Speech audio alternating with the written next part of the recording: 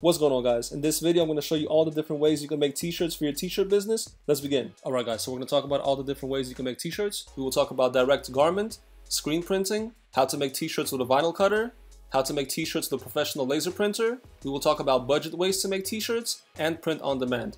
We will also break down the complete process and talk about the pros and cons of each. Before we get into all of that, let's talk about how to buy blank t-shirts and the different types of shirts you can buy.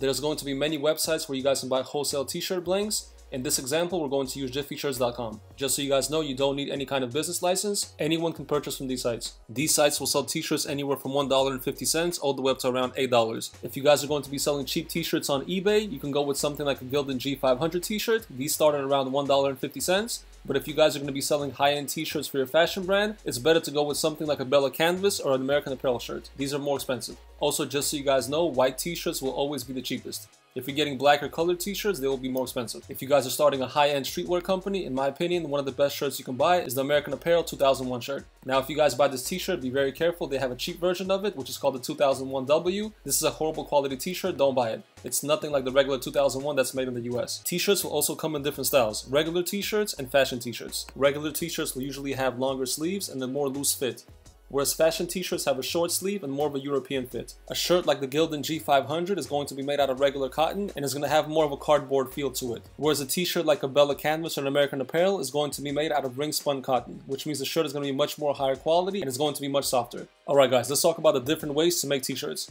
Just so you guys know, no matter which method you choose, you will need a heat press machine, and I'll leave a link in the description. The first way to make t-shirts is DTG printing, which stands for direct to garment printing. This means the blank t-shirt is inserted into the printer, and the printer prints directly onto the shirt. This is great for one-off prints, or if you're making t-shirts with pictures. These printers usually cost over $10,000, and one of the best printers is the Epson F2100. This is industry standard. The good thing about these printers is that you don't have to purchase them outright. You can always finance them for around $300 a month. Just so you guys know, websites that make custom t-shirts like Printful and Teespring, they all use DTG printers. These printers print extremely high quality and the image will not wash away or fade. You can also make black t-shirts without a problem. The printers also print in white color, so you can make black t-shirts. If you're printing a black t-shirt, you will print the white ink first and then the printer will print the colors on top. Each shirt will cost around $2 to print if you use factory Epson inks. Before you print on the shirt, you will also have to spray it with a pre-treating liquid. This will make the colors very bright and will also protect the shirt. You will then heat press the shirt and the shirt is ready. If you guys do buy a DTG printer, I really suggest you get a real professional heat press which costs around $1,000.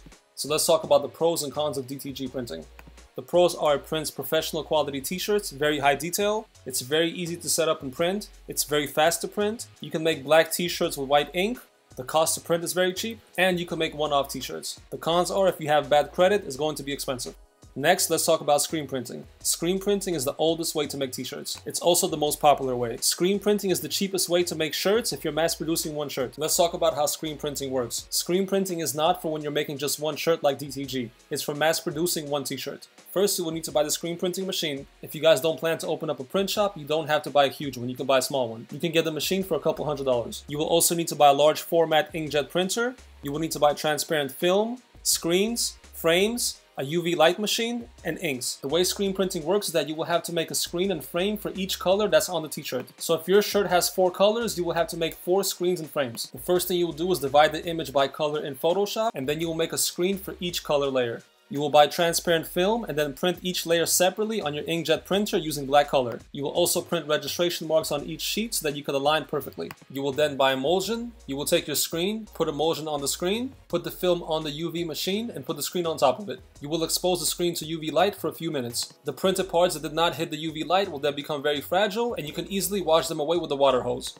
You will then put the screens onto the screen printing machine and you will use a squeegee and apply ink to every shirt. If you guys have a large screen printing machine, you can make a lot of t-shirts very fast. Inks for screen printing are extremely cheap, so it's very cheap to make t-shirts. The cool thing about screen printing t-shirts is that you guys can also do all kinds of metal colors, metal colors such as gold, and you can also make foil t-shirts. So instead of ink, you can use glue and then apply foil and make metallic shirts. You guys can also add rhinestones if you want to make rhinestone t-shirts. Let's talk about the pros and cons of screen printing. The pros are you can start a professional t-shirt business with around $1,000. The quality of the t-shirts is going to be great and they will withstand a lot of washes. The cost to make a t-shirt is extremely cheap and you can also make all kinds of cool t-shirts like foil. The cons are if you plan to make just one t-shirt, it won't make sense because the startup time and cost is just not worth it. Which leads to the next con and that is that it takes a long time to set everything up. Also, screen printing can take up a lot of space and can be a messy process. Also, unlike DTG printing, which requires a digital file, you have to store your screen somewhere and that takes up space. Now let's talk about one more thing that can be done with screen printing, which is kind of cool, and that's Plastisol transfer sheets. What a Plastisol transfer is, is basically a screen print that's printed on either a clear film or a white piece of paper and then sent to you and you could heat press it onto your shirt. So you don't have to actually do any of the work. The only thing that you need is a heat press machine and you're good to go. There are a lot of companies that provide this type of service and you guys can get Plastisol transfers for very cheap. One color starts at around 15 cents the only thing is you guys have to pay a $25 fee to make the screens. So if you guys don't want to buy all the equipment, this can be a great alternative. Now the next way to make t-shirts is by using professional laser printers. So no guys, this cannot be a regular laser printer that you have at home. This has to be a special LED printer.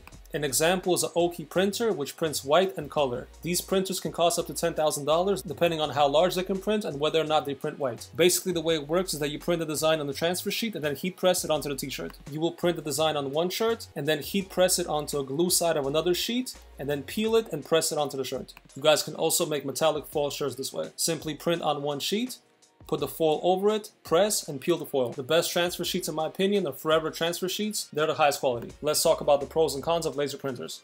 Alright guys, so the pros of laser printing is that it's fast and easy, it's not messy, and you can also make all kinds of unique designs such as gold metallic foils. The cons are obviously it's expensive. Also, the good quality transfer papers are not cheap. And to be honest with you guys, I prefer the results of DTG printing much more than laser. Alright, let's talk about the next way to make t-shirts, and that's with a vinyl cutter. Alright, just so you guys understand with a vinyl cutter, you cannot make picture t-shirts. The way vinyl cutting works is you insert a sheet into the vinyl cutter, and the vinyl cutter will cut out your design. You guys can buy different color vinyls, and you can also buy unique vinyls such as glitter and metallic. You can also buy special vinyls such as 3D vinyl, where after you heat press it, the vinyl becomes puffy. You can also layer different colors together and have a multi-color design. You guys can also buy a cheap vinyl cutter such as the Cricut machine. The machine will come with a 3D designing software. You will simply make your stencil. You will then insert your vinyl and the machine will start cutting it out. After that, you will need to weed out the parts of the image that you will not be using. You will simply take a weeding tool and remove the unnecessary parts. You will then heat press the image onto the t-shirt and your shirt is ready. Let's talk about the pros and cons of vinyl cutters. The pros are vinyl cutters are cheap and you can make great quality t-shirts easily. You can also make unique t-shirts like glow in the dark,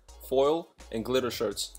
The cons are you cannot print photos, and unless you guys are importing from Alibaba in large quantities, the foils can be expensive. Alright guys, very quick, let's talk about how to get tags for your t-shirts. There are going to be many websites such as Custom Labels for You where you can order woven tags and paper tags for your t-shirts. These are very cheap. If you order in large quantities, they can run as little as 10 cents per tag. You guys can choose if you want sewn-on tags or if you want iron-on tags. When you order your t-shirts off of Jiffy Shirts, you would simply cut the tag off if it has a tag, or if it has a tear away label, you just tear away the label and apply the tag. We talked about Plastisol labels earlier. You guys can also order Plastisol labels on on websites like Etsy. You guys can get these for as little as 15 cents per label. Alright guys, very quickly I want to talk about a couple of budget ways to make t-shirts. The first way is you guys can get an inkjet printer and use transfer sheets. It's recommended that you guys get a printer that prints A3, which is larger images. You guys can get a printer such as the Epson WF7710. This is a great option. Also, this printer can be converted to a sublimation printer if you want to go that route.